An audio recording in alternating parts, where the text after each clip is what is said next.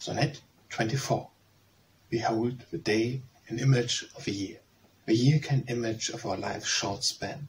Morn like a spring with groaning light began, Spring like our youth with joy and beauty fair, On picturing summer, summer's ardent sphere, Manhood's gay portrait. Eve like autumn, wan autumn resembling fate aged man. Night with its silence and its darkness drear, Emblem of winter's frost and gloomy reign. When torpid lies vegetative powers, Winter, so shrunk, so cold, reminds us plain Of a mute grief that o'er the dim Corse allows Where shall weary rest, nor own remain, Till pale slumber of life's checkered hours.